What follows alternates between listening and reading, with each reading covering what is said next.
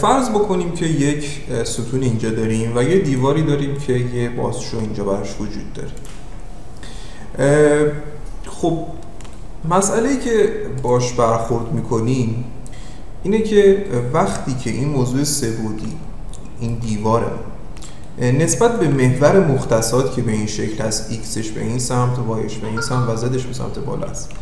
rotation پیدا کرده اگر من روتیت رو بزنم دقیقا تو محور حول محور زد 21 درجه روتیت پیدا کرده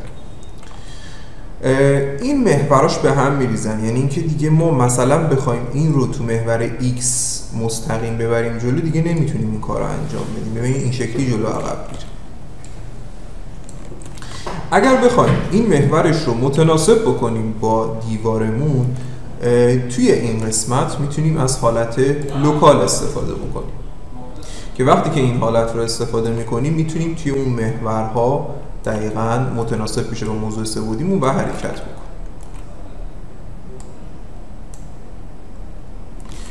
من این رو حالت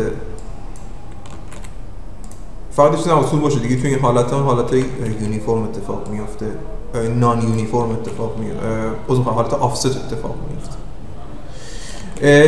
حالا یه, یه کار دیگه الان ببینید من این ستونم چون حالت local مونده وقتی انتخابش می‌کنم روی حالت اما حالت پیشفرض حالت ویوه که همون ایکس و وای زد پیشفرض هستش.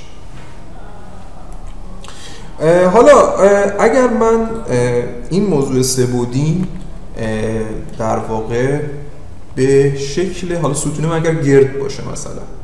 بچه این تو خیلی جا کاربرد داره که ما ستون دیوار داریم مثال می‌زنیم خیلی جا می‌تونه کاربرد داشته باشه که حالا برسیم به وقتش حتما. بیشتر در سال می‌کنیم و از و از این ابزاری که داریم میگیم قطعا جلوتر توی کارم استفاده می‌کنیم. حالا می‌خوایم این رو حالا اگر local ش هم بکنیم اونقدر تفاوتی ایجاد نمی‌کنه. این local ش با ویوش فرق نداره. چون دیگه حالت اون box رو نداره. دیگه sphere شد دیگه. حالت استوانه ای داره. حالا من می‌خوام این حالت local ش بکنم. منتها می‌خوام حالت local بشه متناسب بشه با این در واقع box ه یعنی فاصلش با این دیواره حفظ بشه و بیادش جلو اینجوری حفظ بشه فاصلش چیکار بکنم؟ یک راهی که وجود داره اینه که بچه pick رو بزنید. وقتی که اینجا pick رو بزنید میگید که از در واقع جهت یا محورهای این object استفاده بکن. و وقتی که در واقع این رو می‌زنیم روی اون موضوع سه بعدی حالت همون اتصال بینشون در واقع وجود همون تقریبا حالت لینک به وجود میاد اما ارتباطی با هم ندارن. یعنی من این تکون بدم اون تکون نمی‌خوره فقط جهت جابجایی. دیگه الان بچه‌ها ببینید فاصلهش با دیوار تغییری نمی‌کنه و دقیقاً وقتی تو محور X داریم تکونش میدیم فاصله ها یکسانه و می‌تونیم ازش از این مثلا ستون ها هر چه مثلا انقدر کپی بگیریم. که اینجا ستونامون شکل بگیره این اتفاق اگر بیام تو حالت ویو این اتفاق وقتی که این حالت حالت ویو باشه وقتی که این به این موضوع سبودی لینک باشه توی حالت پرنت هم اتفاق می‌تونه بیفته. یعنی متناسب میشه با در واقع والدش محوراش. در واقع بچه این بس برای بحث محورها هستش.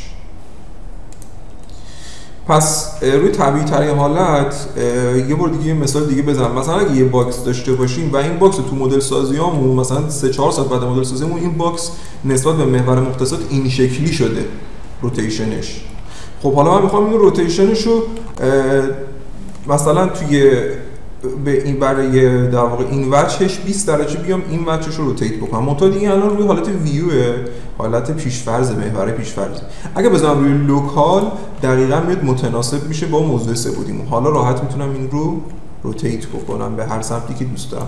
اما اگر توی حالت ویو باشه اون اتفاق نمیفته می‌بینید متناسب کردن از local و برای اینکه از یک object ی پیروی کنه یا از pick استفاده باید بکنیم یا این دو رو باید با هم متصل بکنیم. که خب اگر نخواهیم این کار رو انجام بدیم می‌تونیم از حالت pick استفاده بکنیم که فاصلهشون حفظ بشه و از محور در واقع اون والد یا اون چیزی که تعریف